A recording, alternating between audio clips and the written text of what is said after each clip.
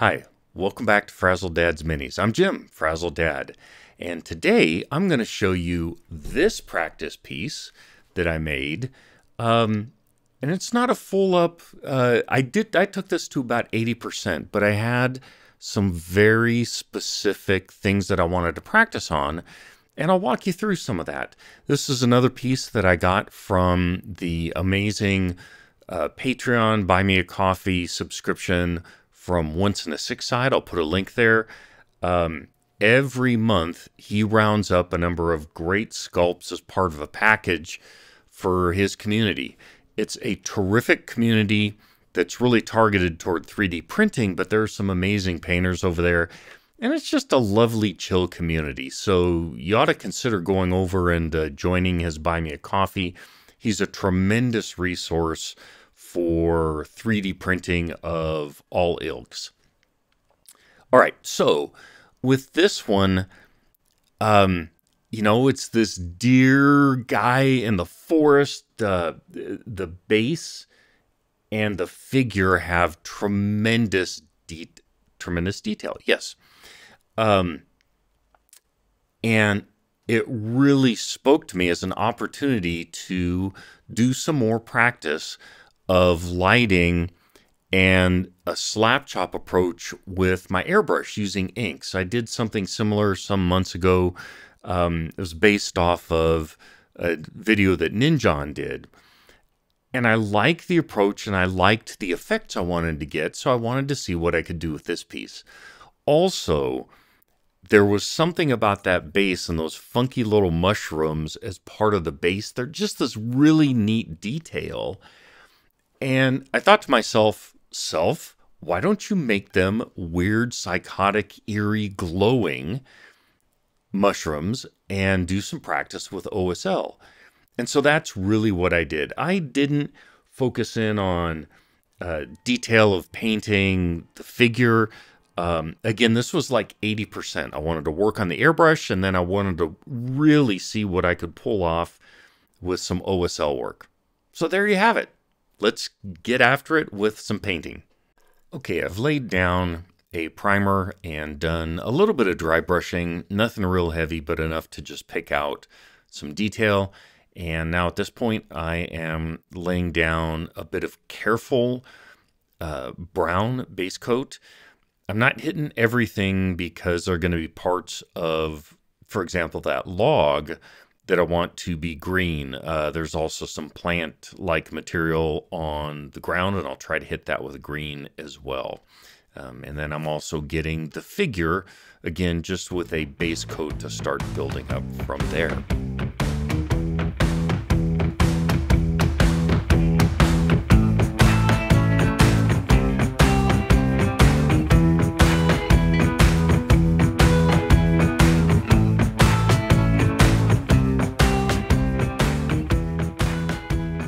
Starting to lay down some green, uh, not with acrylics, but with ink.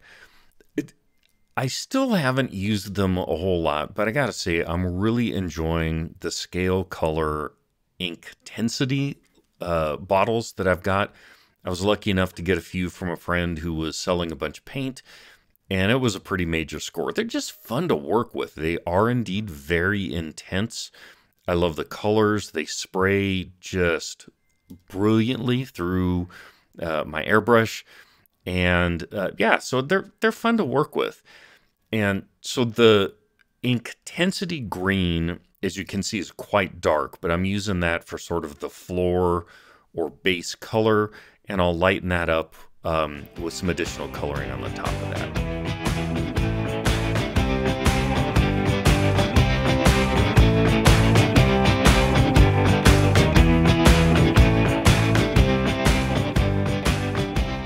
Now I've moved on to a bit lighter, brighter green to add some detail and a little bit of highlighting here and just give a little bit of depth. Uh, this is Dr. Martin uh, Green Bombay ink, and this stuff also sprays well. Uh, really like using this stuff. And again, just using a brighter tone of green to give a little bit of additional depth here.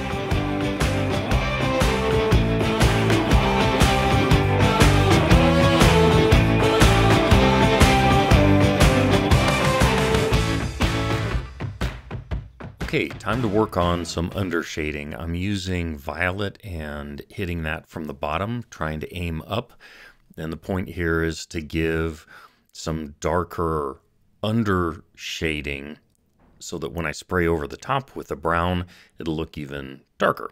Um, and then also a bit of the mimic with what I'm going to try to do for some of the glowy OSL stuff.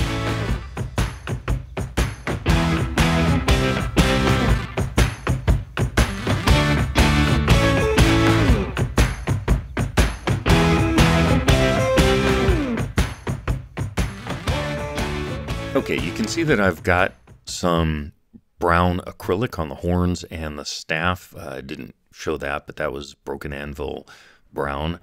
Now I'm using the brown ink to start to get some shading on the body.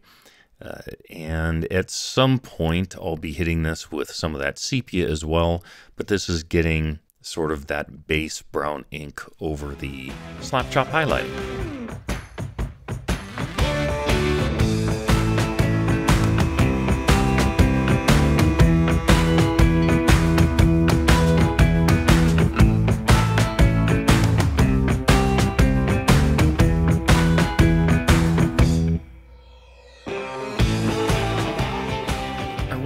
Wasn't sure how I wanted to handle kind of this cloak over his shoulders.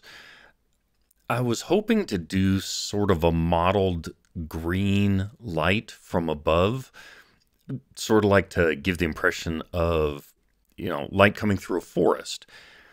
So I thought I'd experiment around with getting a yellow bit of cloak. Uh, so I'm using some yellow ink and giving that a bit of color and uh, honestly just kind of experimenting because I didn't have a clear idea.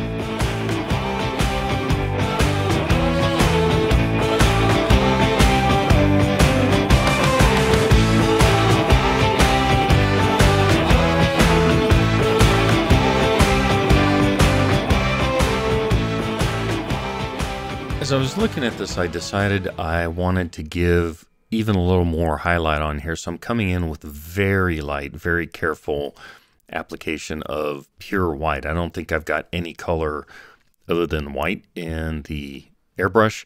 So I'm just being very gentle and trying to hit only a few of the top pieces, top aspects there.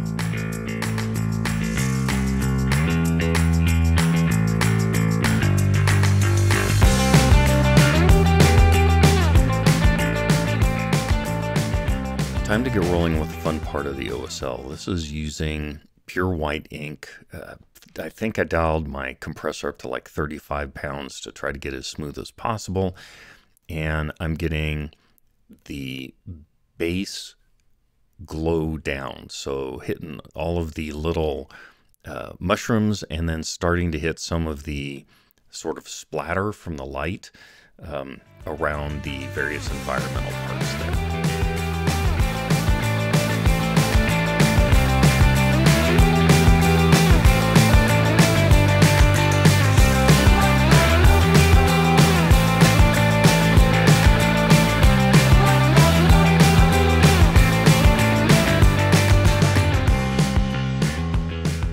Time to get some color on the base of that white. Here I'm using Broken Anvil Violet number two, and I've got it pretty well diluted so that it's coming out very light and very thin. Uh, and I'll just start layering this around the mushrooms, around some of that splatter light effect, uh, onto the, you know, the pieces around it, the ground and that trunk. Um, I'll also be doing the same thing with the deer itself, but you're getting the idea here.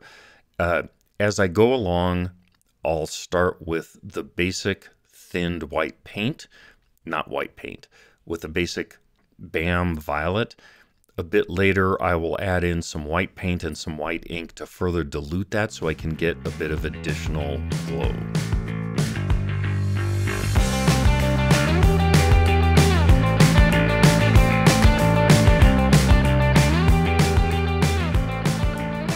It's time to start brightening things up even a bit more. I'm adding in fluorescent red and fluorescent blue to try to get that lovely violet color that I'm shooting for, the violet glow. Uh, I've seen some tips on from a number of people about mixing in fluorescence with some of the base color, and I wanted to give that a try. It was a good chance to experiment and fool around. Um, this is just futzing around with different mixtures, and um, I'm adjusting and playing around with this, but the result is getting some glow from the fluor- fluorescence while still holding that basic base color. I'm pretty pleased with how this was going on. Careful application, keep the paint fairly thin, and just practice around.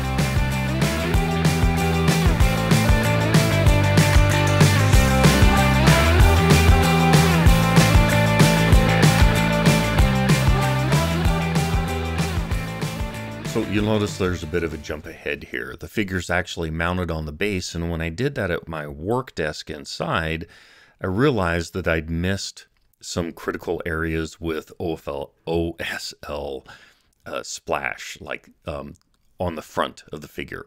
So came back out to the garage and now I'm working on catching that up. I'm hitting some of the inner thigh, uh, the staff, and a couple other little small parts and that was really critical to help selling the effect. But again, you know, it's practice, it's adjusting, it's looking and tweaking things as needed.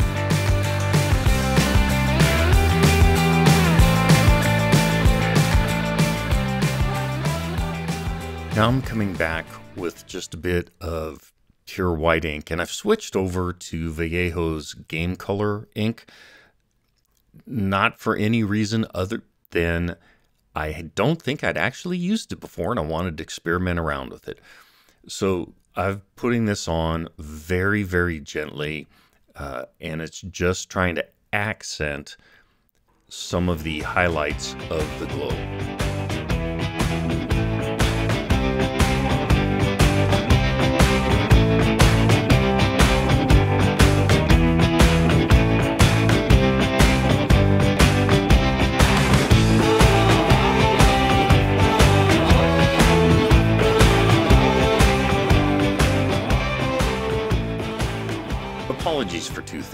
First off, uh, I forgot to turn on one of my lights, so this is a bit dim. Secondly, I changed my camera angle and you're getting a nice shot of the bill of my hat.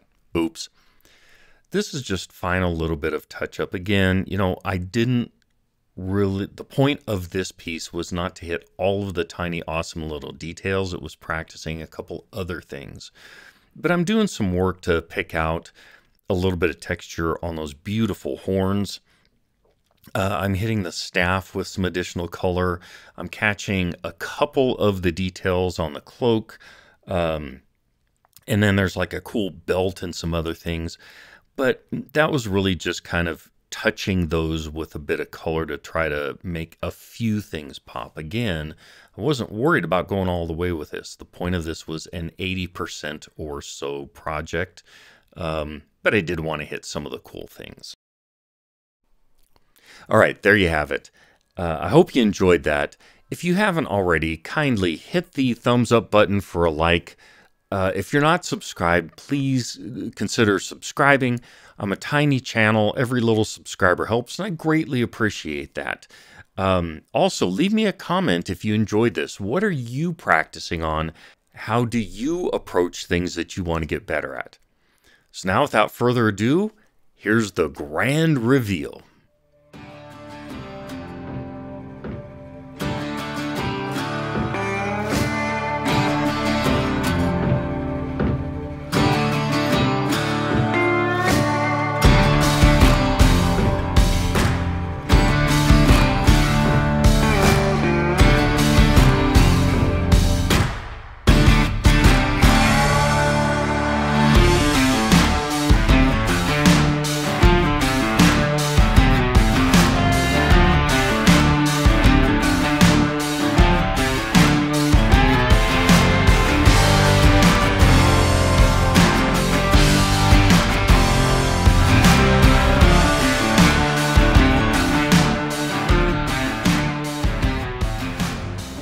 There you have it. Uh, I hope you enjoyed it. I had a lot of fun working on this. Some of that fun was because I was able to just sit back and remind myself that this was a practice piece and I didn't need to nail everything. What I needed to nail was my learning process. I'm very hard on myself. I always have been.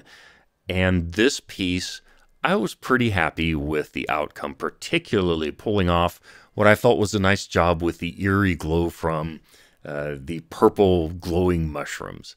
Anyway, until next time, be kind, go out, learn something, practice.